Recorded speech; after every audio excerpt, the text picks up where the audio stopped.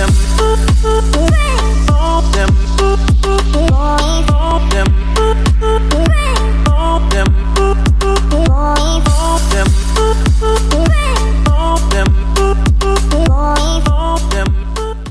Besti, Assalamualaikum. Kali ini aku bakalan unboxing peralatan tempur aku Ini dari suamiku, hadiah birthday katanya. Ini adalah seperangkat kerajinan untuk bikin clay. Yuk kita unboxing.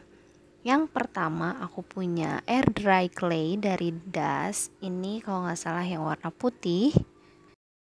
Ini dia penampakan dari luarnya.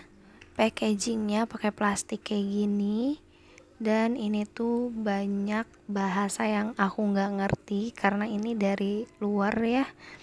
Terus ada semacam selatipnya gitu untuk menutup packaging kalau udah kita buka. Kayak gini. Lalu kita buka aja ya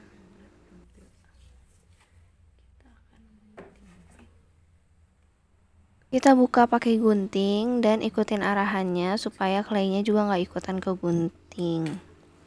Kayak gini penampakan air dry claynya warnanya kayak warna semen gitu ya. Dan ini nggak lengket.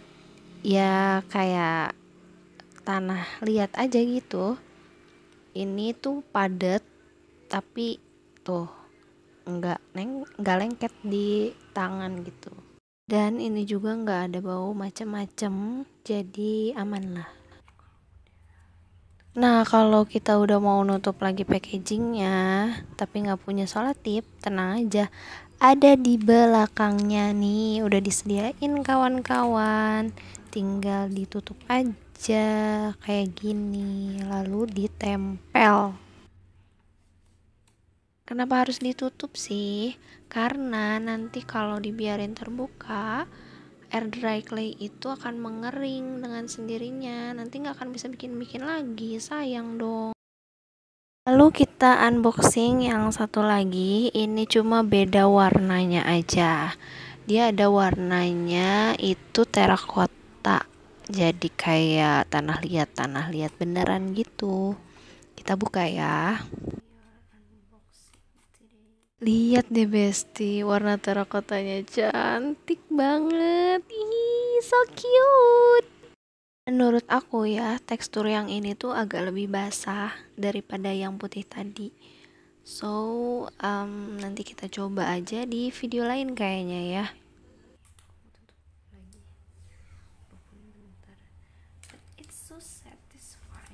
Ya kalian dengar sendiri kan aku tuh nyablak sendiri karena saking excitednya dapetin hadiah. Ini lama banget ya nutupnya. Tuh dua tiga. Nah lalu kita akan unboxing yang mana lagi? Nah kita akan unboxing ini apa coba? Varnish. Ya betul. Ini glossy varnish apa ya pronunciationnya lele? Aku nggak tahu. Kalau bahasa Sunda sih pernis gitu ya pakai r pernis guys. Nah kita coba lihat dalamnya. Ini jujur sih bentuknya lucu banget ya kayak botol-botol. Lucu lah gitu. Packagingnya aku suka tuh kayak kecap. Ini masih disegel belum aku buka dan nanti kita buka ya. Terus belakangnya tuh ada tulisan-tulisan gitu tapi aku nggak ngerti tulisannya apa. Nah varnish ini tuh supaya kelihatannya lebih glossy aja finishnya gitu. Nih selanjutnya ini aku dikasih abrasive paper atau amplas tapi berbeda-beda teksturnya. Yang ke satu ini aku dapet yang teksturnya tuh hampir gak kasar gitu. Kayaknya buat ngalusin finishingnya gitu. Ya menurut perkiraan aku aja sih ini. Aku dapat banyak tuh ada empat kali ya. Nah ini ada dua lagi ada yang bulat dan yang kotak juga. Eh persegi panjang ya sorry. Yang ini tuh depannya kasar tapi belakangnya tuh foam gitu. Ini juga untuk uh, ngehalusin permukaan si air dry claynya nanti gitu.